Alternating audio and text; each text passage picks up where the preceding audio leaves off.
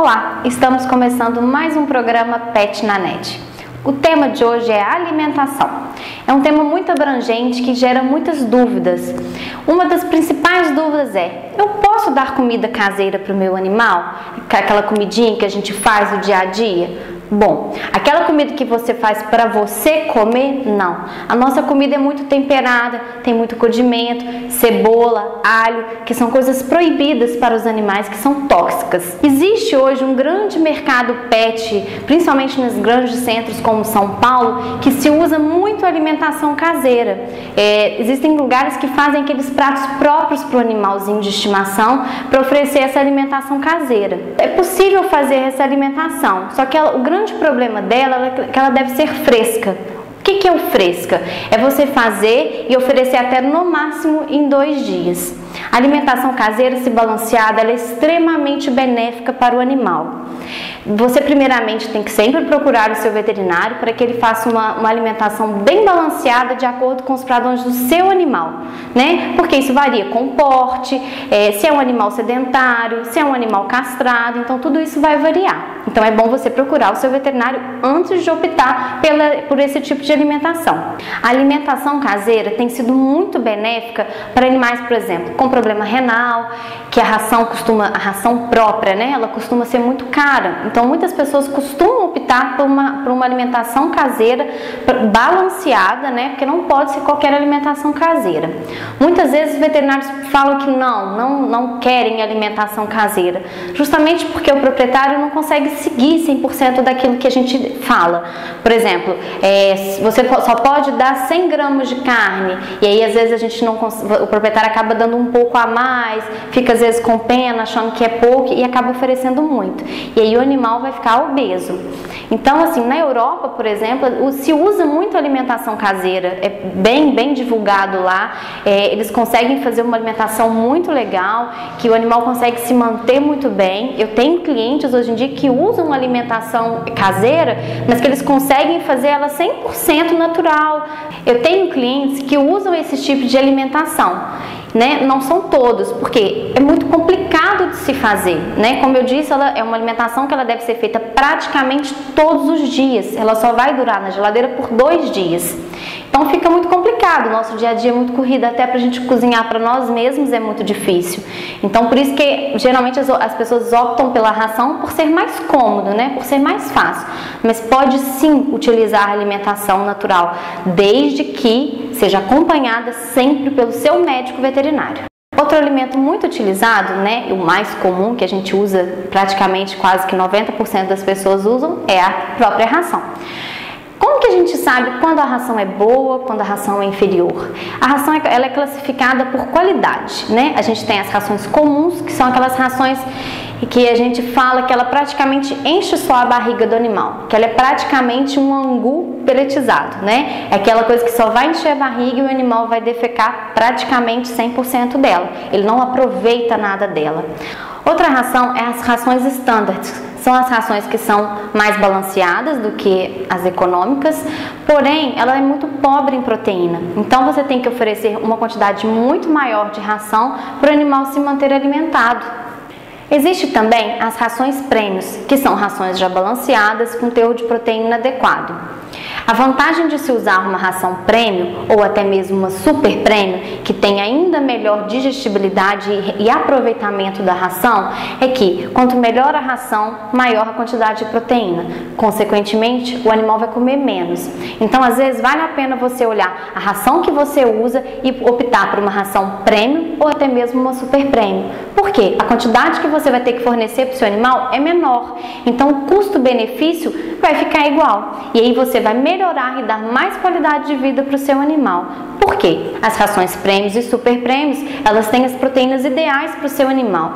Claro que a ração super prêmio vai ser melhor, o animal vai absorver muito mais as proteínas e aí muita gente pergunta como que faz para tirar aquele cheiro de fezes muito forte. É a ração super prêmio. Por quê? O animal aproveita quase que 80% da ração, os outros 20% apenas que vão virar fezes. Então vão ser aquelas fezes pequenas e sequinhas. Então o cheiro vai ser muito menor. Então às vezes vale a pena para quem tem um, dois cães investir numa ração super prêmio, para aquele que às vezes pesa porque tem muito cachorro ou que a condição financeira às vezes não, não, né, não vai dar conta, opte pela ração prêmio. Você vai ver que o custo-benefício compensa. Outra dúvida muito frequente é qual quantidade de ração eu vou dar para o meu animal? Bom, toda embalagem de ração vem com uma tabela nutricional, ou na parte de trás ou na lateral. Essa tabela vem escrita, por exemplo, para filhotes. Ela vai vir quantos meses o filhote tem e qual que é o porte do filhote, se é pequeno, médio ou grande. E ele vai ter a quantidade diária. Aquela quantidade não é para você dar por vez, é diária. Então, por exemplo, se lá estiver falando que você tem que dar 100 gramas, é 100 gramas dia. Para filhote você vai dar três vezes ao dia e para animais adultos duas vezes ao dia, tá? Então, por exemplo, 100 gramas duas vezes ao dia, 50 gramas duas vezes. Outra coisa muito importante de falar é quando eu posso dar patê para o meu animal, aqueles sachês, quando que isso pode ser utilizado? Bom, eu utilizo muito os patês em lata para animal que está doente, um animal que às vezes está com dificuldade de comer, está com uma, uma certa seletividade para comer por alguma doença. Eu não costumo usar o patê para um, animal por todo todos os dias, até porque fica muito caro e os patês não, não, às vezes não atingem a quantidade nutricional necessária. Então, às vezes, em vez de você dar um patê todo dia, vale a pena você dar uma ração super prêmio e aí seu animal é muito seletivo para comer, você põe um pouquinho, um cheirinho do patê, só para ele ficar com uma vontade a mais de poder comer. Mas os patês não são proibidos, eles podem ser fornecidos. Nos gatos a gente usa muito aqueles sachês para poder dar medicamentos. Por quê? Facilita, né? Gato é muito difícil da gente conseguir dar algum remedinho. Então às vezes a gente quebra o medicamento todo, mistura com patê e oferece.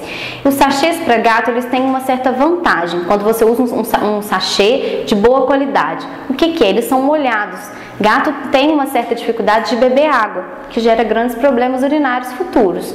Então a vantagem do sachê é que ele é molhadinho, consequentemente ele ajuda a hidratar, mas sempre com moderação. A ração sempre ainda é a melhor opção.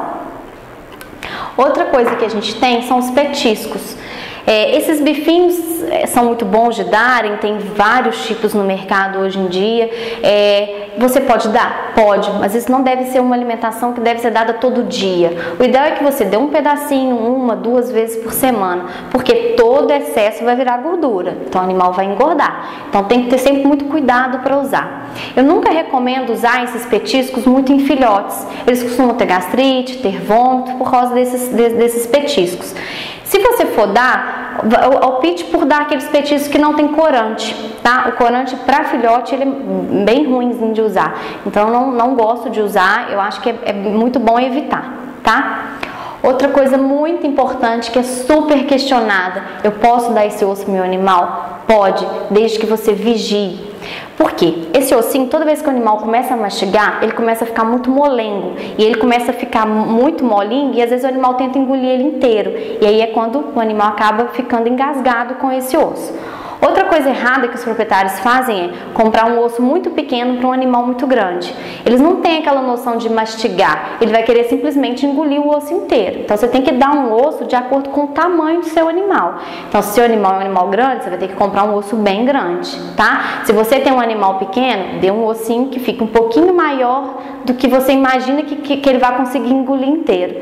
E sempre, dê o ossinho, fica perto e vigie. O ossinho ficou mole, muito molengo, joga fora e compra outro. Esses ossinhos são bons, eles ajudam a limpar os dentes, a tirar o tártaro e a manter uma boca saudável, desde que se dê com o proprietário sempre observando. Alguns alimentos são proibidos para uso em cães e gatos por colocarem em risco a saúde dos animais. São eles: açúcar e doces, porque causam diarreia, vômito, desidratação e a longo prazo a obesidade, a diabetes e problemas dentários. Alimentos gordurosos e frituras, como batata frita, podem causar diarreia, vômito, desidratação e levar a pancreatite e problemas no fígado. Alimentos salgados podem causar diarreia, vômito, sede intensa, desidratação e a longo prazo levam uma hipertensão. Fermento. A ingestão de massa crua com fermento pode se expandir, produzir gás e causar dilatação do estômago e intestino, levando a dor e até ruptura em casos extremos. O abacate pode causar vômito e diarreia em cães. Alho e cebola, nunca. Os compostos sulfurados podem levar a grave anemia. Batata e tomate verdes e crus são compostos por glicoalcaloides que podem causar tremores, convulsões e arritmias cardíacas. Café e chá pois a cafeína causa excitação do sistema nervoso, taquicardia, hipertensão, crises convulsivas e até a morte. O chocolate, que é um grande vilão e muitas pessoas quando vem a Páscoa costumam dar, ele é rico em gordura e açúcar, pode causar vômito, diarreia e desidratação. E até a bromina, que é também um composto do chocolate, pode causar excitação, taquicardia, hipertensão, crises convulsivas e até a morte. A macadâmia, nozes e amendoim podem causar pancreatite e reação alérgica. Uvas e uvas passas podem causar insuficiência renal com sinais de vômito, diarreia, fraqueza, falta de apetite e prostração. E o xilitol, que é um adoçante presente em chicletes, pode causar aumento do açúcar no sangue, dificuldade para andar, crises convulsivas, podendo ser fatal. E lembrando sempre que a água deve estar sempre à vontade, principalmente para os gatos que têm grande dificuldade de ingerir água. Então, às vezes você abrir a torneirinha, hoje em dia existem produtos no mercado que você coloca água, que é uma fonte que fica saindo água, para o gato é uma, uma grande vantagem, porque eles têm uma certa dificuldade de beber água parada. Para os cães, trocar água duas vezes ao dia, manter uma água fresquinha, porque a água é fonte de vitamina, de energia, então a gente tem tem que oferecer água para os nossos animais. Então não pode esquecer de sempre trocar água. Bom, o programa de hoje fica por aqui. Espero que eu tenha conseguido tirar bastante dúvidas de vocês, mas lembrando que ficou em dúvida, tem alguma sugestão? Mande para o nosso e-mail. Fiquem com Deus, até o próximo programa. Tchau.